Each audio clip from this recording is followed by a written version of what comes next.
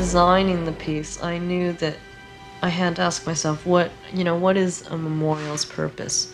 Especially what is a memorial's purpose in the 20th century?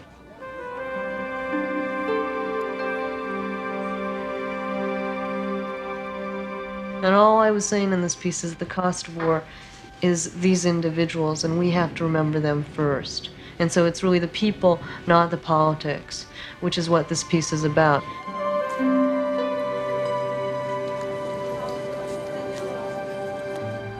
Because it's only when you accept the pain, it's only when you accept the death, can you then come away from it.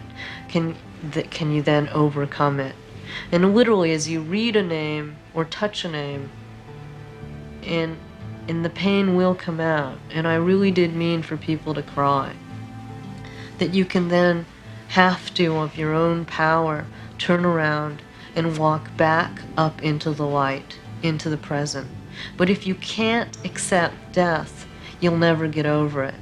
So, what the memorial is about is about honesty, which is also what the civil rights piece is about. You have to accept and admit that this pain has occurred in order for it to be healed, in order for it to be cathartic.